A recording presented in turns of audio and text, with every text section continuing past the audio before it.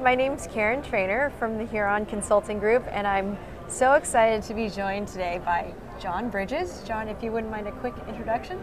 Thanks, Karen. My name is John Bridges. I'm a managing director with Huron. Uh, my focus area is the northeastern United States. Former Oracle um, employee in the Northeast, uh, so very familiar with the Oracle systems and the Oracle procedures. Thank you, John. So I've only got two questions for you today. All right. So, first question We've been here at Kscope, and there's a whole bunch of talk about the cloud and everything that's fabulous with the cloud. So, hypothetically, say I'm a company and I don't have anything on the cloud yet. Everything that I have is currently on premise. How would I even go about getting started? Sure, so it's a good question.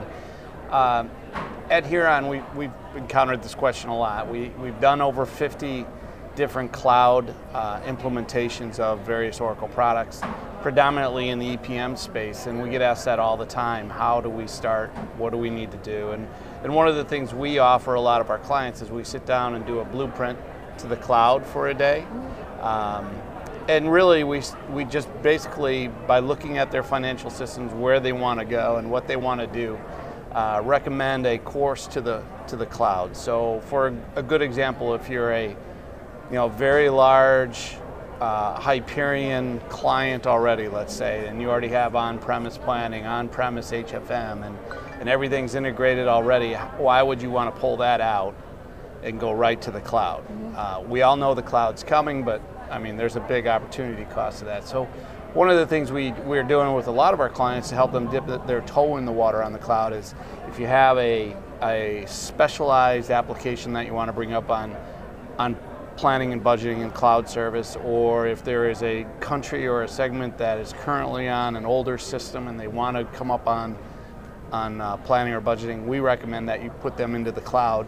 Um, and that way you understand and you dip your toe in and you can really test drive PBCS before you uh, go full cloth to that. Super. Fantastic. Excellent. Now, second question. Okay, second question for you is let's say, all right, I've dipped my toe into the cloud. Yeah. I've got some stuff on the cloud and I have some stuff on premise still. But I need to somehow do some reporting to make it all work together and see some numbers come out combined together. How might I go about doing that? Actually, that? we did presentation on this. Oh, did uh, we really? Our, our guy Mike Nader. Uh-huh. Um, so what you're talking about is a hybrid deployment, uh-huh. and obviously for the next couple of years, we think that's going to be very prevalent out there in the marketplace. So it's let's say somebody's got uh, an on-prem GL or they might be moving to a Fusion GL, but they have on-premise HFM or on-premise planning. How do you tie that all together and then get one picture and reporting? Uh, we've done a lot of that work, uh, whether it be through sort of a data mart in the cloud with Essbase on top or you know standard data mart on premise.